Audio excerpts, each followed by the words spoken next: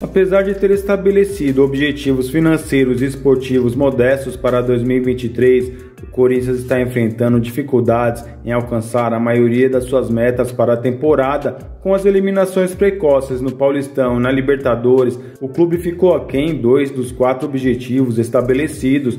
Fala fiel! Antes de continuarmos a notícia, seja muito bem-vindo ao canal Jornal do Corinthians, sua dose diária de informação. Se você não for inscrito no canal, já se inscreva e deixa aquele like para fortalecer e ative o sininho para receber todos os dias as principais novidades do Corinthians em primeira mão. Agora sim, vamos continuar a notícia.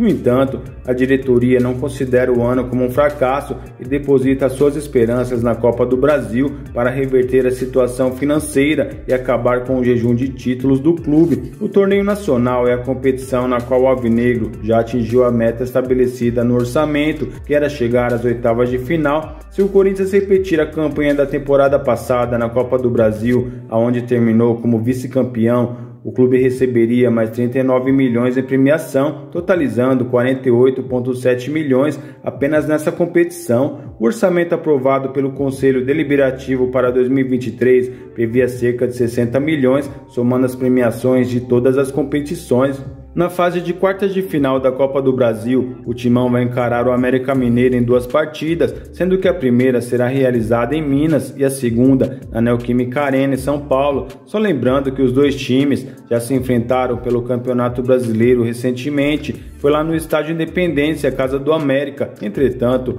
o Timão perdeu por 2 a 0, o que complicou ainda mais a situação do clube na classificação. E eu vou ficando por aqui. Lembre-se de deixar o seu like e se inscrever no nosso canal. Aqui você sabe, né?